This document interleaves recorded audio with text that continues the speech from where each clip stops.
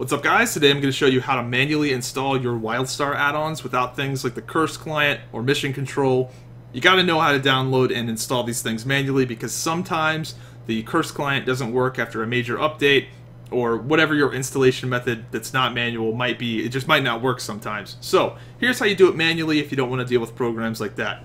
So get to where you downloaded your add-on, uh, probably the downloads folder I would assume, and uh, I downloaded the mod Trackmaster. I've never used it before, so hopefully I can configure it right. But I'm gonna click on Trackmaster, gonna extract it to the downloads folder.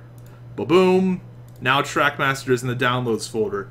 This is where a lot of people mess up. So when you are copying this folder, you need to go one folder deep. This first folder is completely worthless. You want to click one folder in and copy this folder. Same thing goes with these other mods, like Rune Crafting Fix. Well, actually, no, not Rune Crafting. But some of the mods, you just gotta, you gotta be careful because some of the mods, this first folder is just complete bullshit. So you gotta copy the second folder in for some of the some mods. Uh, for this mod in particular, you do. So copy that, and uh, then we're gonna go to the uh, the search right here and type in percentage app data percentage and that is going to bring us to the roaming folder now I know some of you guys have probably tried to go in and find the add-ons folder very similarly to like what you did with WoW where you go to the interface and add-ons whatever and uh, it doesn't work because the app data and roaming folders are hidden. I, I, don't know what the deal is. I'm not a computer genius, but I, I couldn't find them without specifically typing in what I needed to, to get to, to to see them. So uh, that's the best way I know to do it. Just percentage app data percentage and click on roaming and this is going to bring you to all of your app data files, uh, folders for every single program you've got.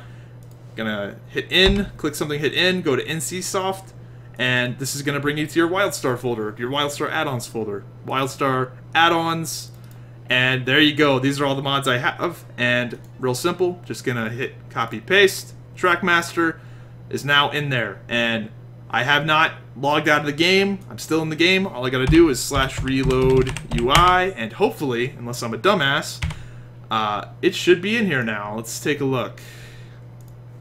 Trackmaster. I might have to force it to load. I'm not sure if it's with this if it works with this API. Trackmaster, Trackmaster, Track. There it is, Trackmaster. So now this mod is in there. I have no idea how to configure it, or, or maybe if I just click on a target, it'll, uh, well, fuck. Uh, oh, oh, here we go, here we go, it's right here. Track.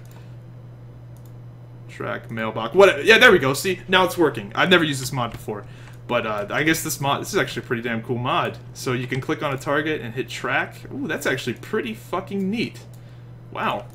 Check out the mod Trackmaster, that was unintended, I just picked a random mod off Curse. So, Damn, that's actually really cool.